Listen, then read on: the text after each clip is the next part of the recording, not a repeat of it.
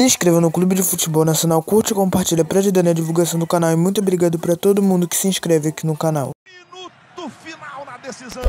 Aí Marcelo Cirino, na velocidade, Edenilson marcando, Lúcio Gonzalez faz a infiltração.